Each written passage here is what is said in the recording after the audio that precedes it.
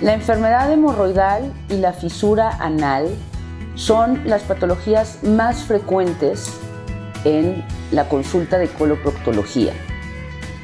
Y hoy me interesa platicarles de ambas juntas porque sus síntomas cardinales son exactamente iguales y se tratan de dos patologías diferentes, con tratamientos distintos, obviamente.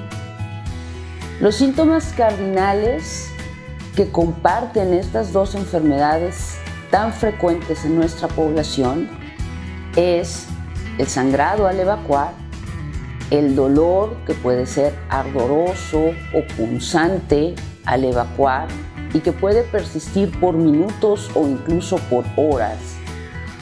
Y la sensación de una protuberancia, la sensación de una bolita. Mucha gente piensa que el sentir una bolita en el ano implica automáticamente que son hemorroides. Y no, ya les explicaré por qué también hay una bolita, una masa, en la fisura anal.